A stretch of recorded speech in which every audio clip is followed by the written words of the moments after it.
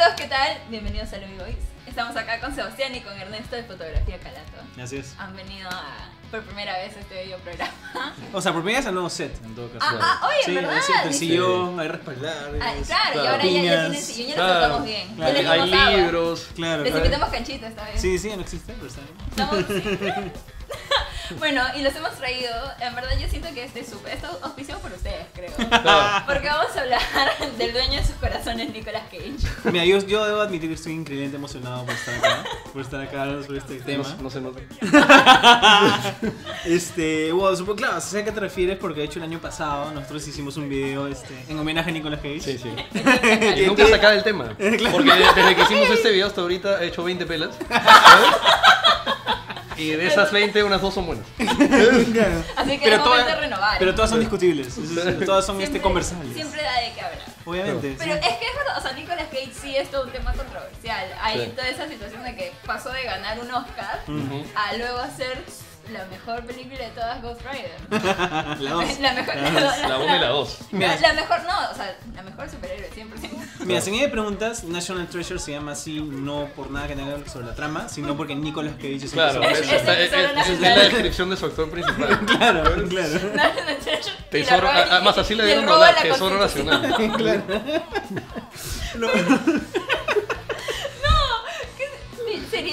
favor, estamos acá para hablar de un Este actor serio, un ganador cortes, del ¿no? Oscar. Este iba a tener mil cortes, ¿no? Pero mira. es como una pelea de Rich esto.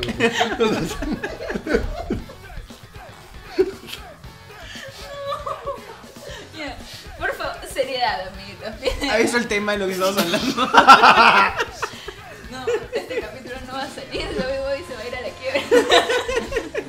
Ya, bueno, ok. eh, regresando un poquito a lo que decías, este. O sea, sí, la vaina de Nicolas Cage, y es algo que también hablamos en nuestro video, es que el pata aparentemente como que le dé plata al fisco. Sí. Entonces, no, de verdad. No, en verdad, porque el tipo sí. está loco, pues. Entonces este, ga- gasta su plata en idioteces. O sea, el pata se ha comprado castillos, huesos de dinosaurio. Sí. ¿no? No, llegó Este, sin dinosaurio aparentemente era robado y lo tuvo que devolver. Claro, era robado de un museo y lo tuvo que devolver. Claro, y no lo no lo declaró, robó. entonces. Claro. Igual, le creyó- debe creyó- plata al fisco. Claro, Entonces, el creyó que era pata- la declaración de independencia, entonces lo robó. entonces, claro, el pata tiene que tomar cualquier papel que le hagan. claro. ¿no? O sea, yo estoy seguro que si le ofrecen un papel acá viene y lo hace. Sí. ¿Eh?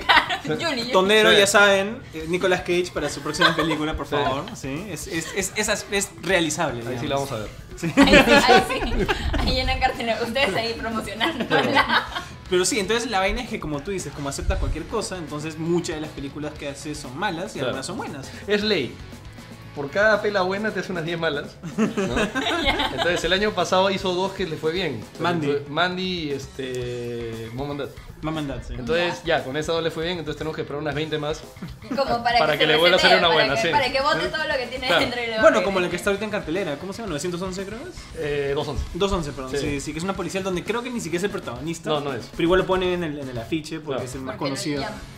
Sí, yo, yo he tenido el honor de ver esa pela. Ah. Nadie más, ¿no? No, no, no. No, Nadie más. li- literal- literalmente nadie más, sí. Es mala. Tú, el único en el Perú. No, es tú, mala, es como un este, es como un remedio de fuego contra fuego y obviamente nada de fuego contra fuego, excepto fuego contra fuego. Entonces, este, sí, la peli es malísima. Es este, es sobre un, es, es sobre un banco que está sitiado por, por comandos. Y Nicolas Cage es un policía que justo está ahí y se gana con toda la balacera. Y la cosa es que la película dura una hora y 20 minutos. En los primeros 20 minutos lo ves 30 segundos. De ahí sale, sobrevive a la balacera y no hace nada más. Entonces, no hay un personaje principal ahí. Eh, y él es recontra secundario. Claro, es, es prácticamente un secundario, y lo, pero hay un dato curioso ahí. Uno de los mercenarios es su hijo. ¿no? Este, Eh, Weston Cage. Weston Cage. Que es, Ah, o sea, no es su hijo en la película, sino. su no, en la vida real. hijo. No, ¿el es, es más. Sí, el metalero, el que es cantante de death metal. Si quieren pueden poner acá la foto. ¿no? Este, Que no es Kal-El Cage, que es Claro. que Superman. Ah, claro, es el y, la- y hay una escena donde el tipo coge su rifle sniper y le apunta al papá a la, cara, a la cabeza y casi lo mata. Entonces es, un poco rara esa escena, ¿no? Claro, porque es el papel hijo tratando de matar. Sí. Pero, ¿y Claro. no son, no son como igualitos? Sí, el hijo es, es este, Nicolas Cage gordo y con barba. Y eso no lo, no Y lo Darks. explican en la película, o solo dicen, ah, se parecen, nada. No, sí, pero creo que solamente le enfocan la cara tres veces. Porque todo el rato está con máscaras, una cosa así. ¿no? Para que no veas a dos personas iguales. Pero sí, se parecen harto. sí. Pero, o sea, además de eso, él es un tipo de actor de doblaje. O sea, él. Ha ha- ha dado la voz para un montón de películas. Tipo, la- claro, por ejemplo, el año pasado creo que tuvo dos roles en películas muy buenas. a pesar de que uno de los Lobby Boys no le gusta, no sé por qué, pero Spider-Man Into the Spider-Verse es muy buena y él ahí hace Spider-Man Noir. Y honestamente yo hasta que vi esa película no sabía que había querido ver a Nicolas Cage como Spider-Man, pero lo hace increíble con esta Sí. voz de los años 30, ¿me entiendes? O sea, le hace bravazo. Le salió bien. Le salió bien chévere, bien mate de Yo estoy seguro que no estaba. Se Lo grabaron en a su jato, hermano. Metieron micrófonos escondidos en su jato. ¿no? Y ahí, y de ahí construyeron la película Obvio, alrededor de lo obvio. que decía. Y de ahí hizo de Superman en este, Teen Titans Go to the Movies, que es un poquito también un homenaje al hecho de que él iba a ser Superman en los años 90 para una película de Tim Burton. Y no entiendo por qué no tenemos Pon- Pongan la foto. Sí, o sea, bueno, en realidad si ponen la foto sí van a entender por qué nunca obtuvimos la película, porque es un poco absurdo. Pero es paja, ¿no? Porque hicieron este documental que se llama The Death of, The Death of Su- Superman Superman Lives, claro. What Happened. No lo vi, pero estoy seguro que tuvimos, tuvimos suerte. Es bravazo. Sí. Hubiese, se sido el hubiese sido el primer Superman pelado de la historia. No, Pero no con, pero con, pero con, o sea, pelado adelante, pero con, con No, pelo atrás. o sea, claro. pero tiene su franja. Con pena- con pena de fraile, ¿no? pista de aterrizaje. Claro. Así acá. Dicho, sea de paso, y para mí el peor peinado, esto es un tema aparte, ¿verdad? El peor, el peor peinado de Nicolas Cage es el que tiene en Bangkok Dangerous, que es una película de acción que hizo hace como 10 años. Ya. Donde, es más, su peinado fue tan terrible que en esa época, a pesar de que no había memes, la gente empezó a photoshopear y ponían águilas en su cabeza. Porque parece que No, tiene es un pájaro. Next. O es La Next. del Águila es Next. Sí, es que ahí tiene más o menos el mismo peinado que pareciera como es cuando el vampiro abre la capa. Ya, es como que Atrás. tomaron la capa y se lo pusieron aquí atrás. Claro, sí.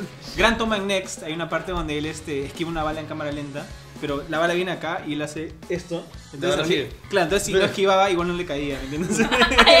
Es, la, es la peor esquivada de la historia. No, claro, como él dice, es un tema aparte los peinados de Nicolas Cage. Sí. O sea, Otro, Con otro video. Mientras más malo el peinado, ya sabes qué nivel va la pela. Pero, o sea, es lo que tú decías. Él iba a hacer una película con Tim Iba a ser el Superman de Tim Burton. Sí, porque él es muy fan de Superman. Este, Sí, de los le, hijo, le puso a su hijo Kal-El y tiene un tatuaje de Superman en no sé dónde. Yo siento que, no sé por qué siento que en verdad sí sabe. Pero, Creo que en el brazo. Y en el otro brazo tiene un tatuaje de Ghost Rider De que Ghost se lo tenían que borrar para cuando hizo Ghost Rider. Eso ya es una historia triste. Eso solo es dolor. ¿Qué cosa creen ustedes que hubiese pasado si es que él en verdad hubiese actuado como Superman? ¿Creen que hubiese tenido Ya no habría pobreza en el mundo, eso es lo que Claro, paz mundial. Creo que es un programa. Pero grabemos cualquier otra cosa.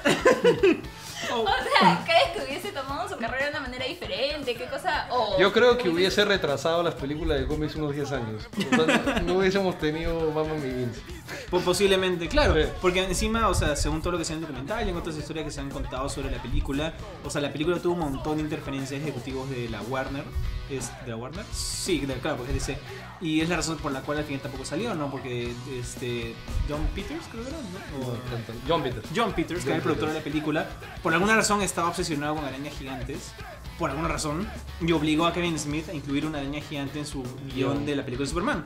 Y como esa película nunca salió, al final pusieron esa araña gigante en Wild Wild West, esta película con Will Smith. ¿En verdad? Por eso lo... Sí, no tiene nada que ver con la historia, era porque el productor. Sí, sí, era porque el productor estaba obsesionado con arañas mecánicas gigantes, no sé por qué. Entonces, con cosas así, con Nicolas Cage, con Tim Burton es medio darks. y Es que yo, yo sé que en, en No los la- desde hace rato como que quieren que las películas de cómics se tomen en serio, ¿no? Mm. Como que son un género tal cual. Y de repente, ¿qué hubiese pasado si hubiese sido Superman? Bueno, es un, o sea, ponle foto. Nosotros tenemos que ponerla. nadie- Pon la foto con donde tiene el traje de brilla. Claro, Eso- nadie eso se lo es- toma en serio, güey. es paja. Sí. Pero, o sea, sienten que. Porque yo digo, mm, tal vez hubiese dejado de tomar otro tipo de papeles, no lo hubiésemos tenido como el topo de G-Force. Claro. O Como como la hormiga de Spider-Man. Con- no, bueno, sí, hubiésemos Como podido el, el cavernícola de los Cruz. Claro. Pero mira, yo siempre, Pamela. yo siempre me quedo con una, en términos de cómo actúa, porque su estilo de actuación es un tema aparte también. Yo siempre me voy a quedar con esta frase que dijo Roger Ebert, el famoso crítico de cine gringo, que decía que Nicolas Cage es un buen actor en películas buenas, pero un actor indispensable en películas malas. Porque te la salva. Porque la salva, Sí. simplemente con lo demente que actúa. Sí. O sea, porque o sea, tiene, él es experto en estas explosiones de sentimientos o de rabia o de simplemente como que meter como que berrinches adultos en personajes adultos, que es como que es Cage Rage, pues básicamente. El Cage- el Cage Rage. Claro, el Cage Claro. Rage. Que es Pero- cuando simplemente como que explota y como que empieza a putear a todo el mundo y grita. ¿no? O sea, quieras o no, cualquier. O sea, yo en verdad bueno, he visto unas buenas tres películas de Nicolas Cage: ¿Cuáles? Treasure 1 y 2, Ya. y luego Spider-Man, creo. No, No, pues tienes que ver contra cara, este. ¿Contra qué es el que te digo que quería ver? Pero Riesgo ese en es el- otro tema. En el aire. La este, Roca. La roca. He visto poquitísimas películas de Nicolas Cage, así de simple. Y en verdad, cualquiera habla de Nicolas Cage, el toque es, ah, ese men. O sea, he visto, he visto tan poca, he visto más películas, creo que de Carlos Carlín que de Nicolas Cage, pero hablo muchísimo más de ese men. Un día, ¿cuál- ¿Cuáles has visto de Carlos Ferlin? No, ya no, porque me van a hacer, me van a hacer bullying. Así que no. Loco el punto es que Nicolas Cage es un, es un, es un actor recontra reconocido. Sí. Sí. Y bueno, y, ¿Qué- ¿A qué cosa creen? O sea, el Cage Rage, que es lo que tú hablas, yo creo que es algo importante. o sea, lo que pasa es que el pata sí es capaz de dar actuaciones muy muy buenas y de elevarte a ciertos personajes y es muy bueno en cierto tipo de personajes. El ¿no? pata es buen actor. Es buen actor, el problema es que No se esfuerza nada. el no se esfuerza o es- está, está eligiendo cualquier guion que le llega precisamente porque tiene plata de problemas eh, monetarios. Pues, ¿no? Claro. Y, pero, o sea, tuve su, su trabajo en películas como Adaptation, como Living Las Vegas, como Magic Men. Es una de las relativamente recientes que también tiene es Joe, Bad Sí. Lieutenant, la Warner Herzog, que es muy buena. Sí. Y actuó como loco, pero en una buena película, entonces bacán. Claro. Y es justificado por ser un policía coquero que alucina, entonces ya pues. Claro. Este, entonces sí, el pata sí es muy bueno, pero claro, ahí te, te enteras de que cuando hizo Ghost Rider 2 se maquillaba la cara como el varón Samedi para poder como que invocar a los espíritus mientras actuaba, ¿me entiendes? Entonces no me fríes, pues. Entonces, literal, literal hay, hay fotos de detrás de cámaras donde se supone que tiene la calavera digital encima y él está pintado en negro y blanco, pues. Entonces es como que ya, pues, o sea... Yo creo, es que yo creo que el tipo se ha vuelto un personaje. pues, O sea, ya sí. O sea, yo creo que eso es lo que te dice. O sea, yo creo que él es un personaje espera. porque él de por sí. Aparte no hemos mencionado la joya de todas. pues, ¿Cuál? Wickerman. Ah, Wickerman. Por favor, Wickerman. Wickerman ha sido como que la película donde te diste cuenta que Nicolas Cage ya no tiene vergüenza. ¿no? O sea, es una, es una película de terror que es un remake de una pela inglesa. Con que Christopher Lee. Con Christopher Lee, que sup- eh, supuestamente es muy buena.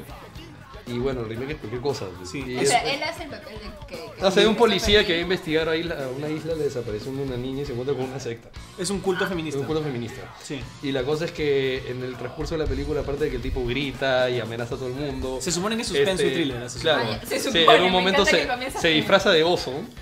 ¿ya? Y, y de la nada le tira un cohete a una chica en la cara, Sí. disfrazado de oso. Sí.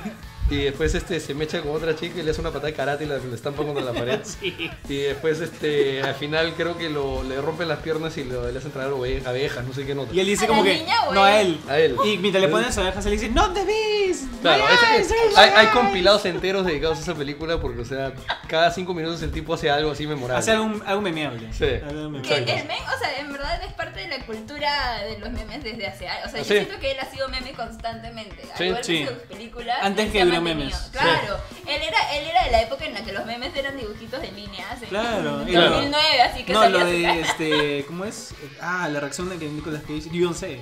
Era you don't say. Ah, sí, claro, que- claro. que esa película, esa, esa toma es de una película que se llama El beso del vampiro.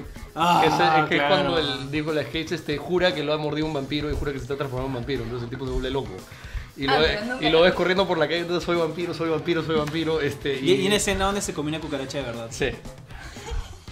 Este, Es muy dedicado. Mira, hay, hay un video, y en verdad les recomiendo que busquen este video después que acabe este, que se llama este, Nicolas Cage Luces y Shit. sí, sí, sí, ¿verdad? sí.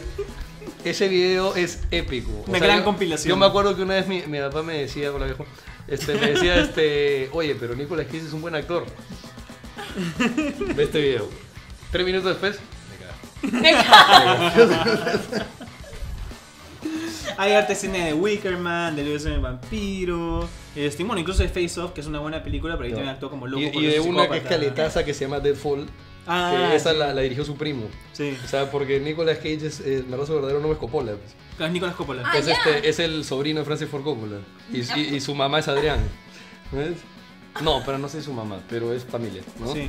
Este, Y se puso Nicolas Cage en honor a Luke Cage. también por Luke. Cage y también porque no quería que no quería que le hagan favores por ser el sobrino, el sobrino de. Coppola. pues, ¿no? Y bueno, los Coppola, hay Coppola en todos lados. Sí. pues, o sea, Sofía Coppola, este, Roman Coppola, que es el que hizo esa pela, y Manny Coppola, que era cantante. Este, y bueno, Francis Ford Coppola y el papá también hacían música, ¿no? Entonces, Claro. este, claro, y él viene de toda esa familia. Aunque él lo niega, básicamente, ¿no? Yo no tenía ni idea y no Sí. sé por qué. Siento que he aprendido demasiado de Nicolas Cage ahorita en este Claro, ¿no? Sí. En ¿No te sabes su talla de zapatos?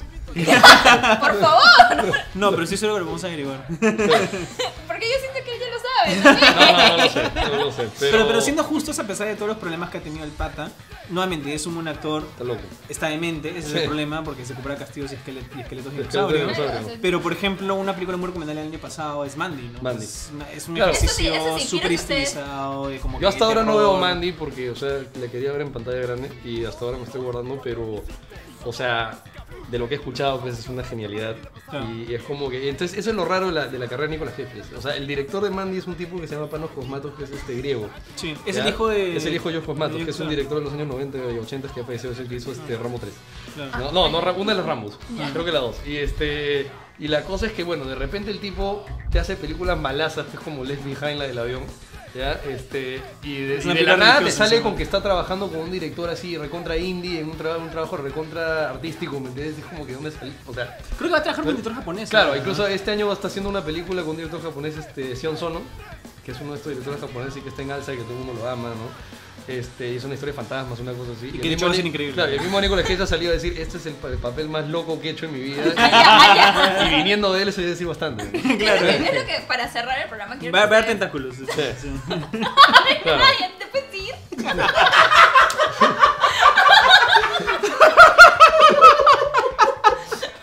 Yo te iba a preguntar algo y me, ya no sé En verdad es un poco, es, da un poco de miedo lo mucho que sabemos de ese huevón. Yo no he tenido que preguntar nada. Ustedes han dicho todo el capítulo. Pero tienes un montón de conocimiento. He salido como una mujer diferente que hubiese sido chévere si no hubieses hecho comentario de los tentáculos, pero como quieras. ya. Lo que quiero que ustedes hagan para ya cerrar este capítulo ligeramente infernal es.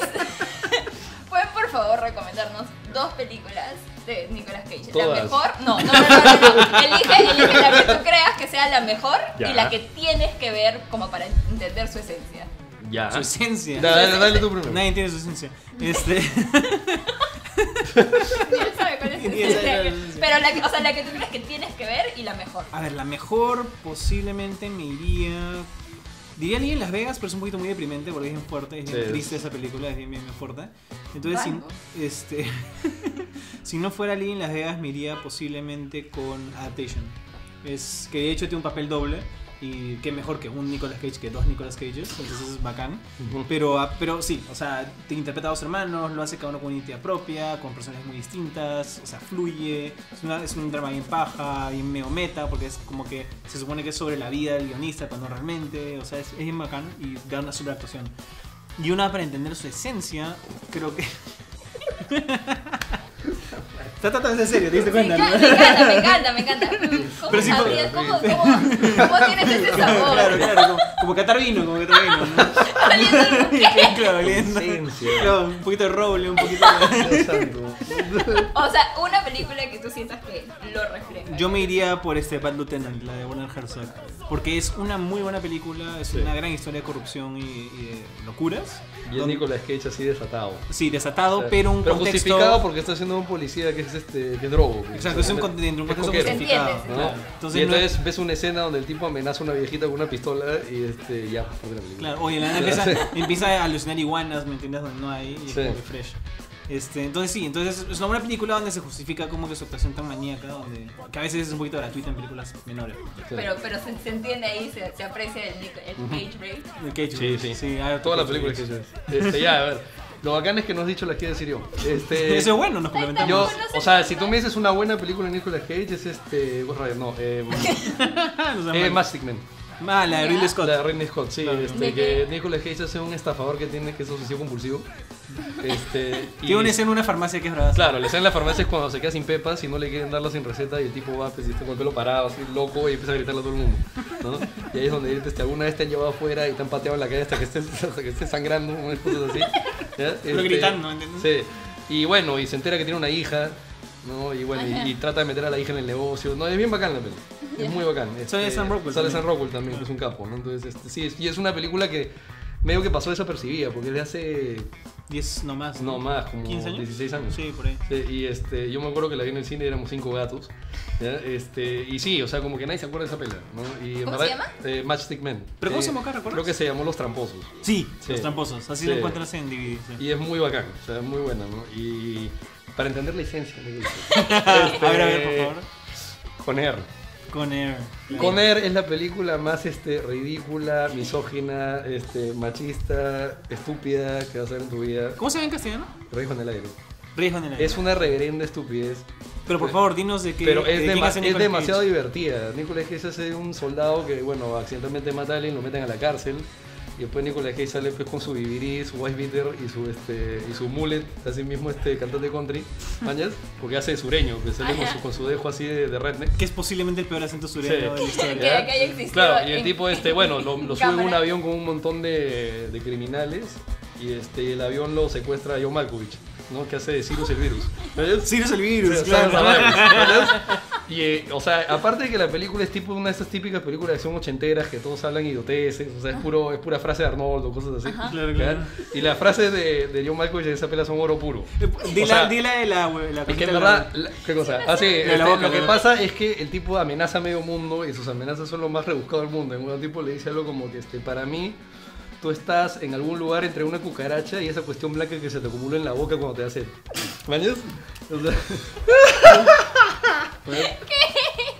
o sea, o le dice este, no sé, a otro, a un piloto le dice este, "Mañas, qué sé yo, pues este, le- si- la- las próximas salas que vas a ver van a ser las moscas encima de tu cadáver. ¿no? O sea, qué sé yo. Entonces, sí, esa película es, es una genialidad por lo estúpida que es, ¿no? Y, y Nicolas Cage pues, hace patadas de karate y también amenaza a todo el mundo y en un Con momento, todo no con sé. Ah, ya, ah, toda la película es ser en BB. Sí, Claro. y cogen un, este, un, ¿Qué un, un conejito de peluche y lo amenazan con un arma, ¿no? O sea, es- Porque el conejito es su hija. Claro. ¿no? Y es Ay, una, o sea, es una genialidad. ¿no? O sea, sí, yo creo que esa era la época en la que Nicolas Cage este, hacía papeles de acción. O sea, todavía, estaba, estaba cha- chapado. todavía estaba chapado y no estaba tan pelado todavía. ¿no? Y te lo creías. ¿no? Esa fue cuando salió La Roca y, este, y Contracara, que también las tienen que ver. Claro, somos unos todas de la misma época. pues, ¿no? Sí. Claro, Ah, su, su época dorada de la acción. Cuando Claro. tenía el pelo tan ridículo. Claro. Bueno, Dios mío, siento que hemos eh, químicamente cambiado. Soy otra persona. Mis átomos se han realineado. Eh, no sé cómo cerrarlo. Quédense con alguien que, los ame como ellos aman a Nick Cage. Gracias.